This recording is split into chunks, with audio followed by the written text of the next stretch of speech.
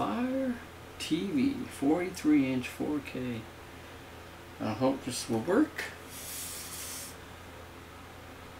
for my editing machine.